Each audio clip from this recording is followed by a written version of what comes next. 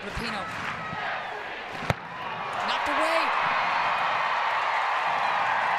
Angerer punches it away.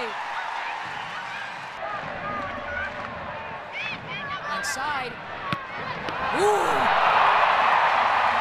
Naho with the one-timer, and Nadine climbs the ladder. What a save!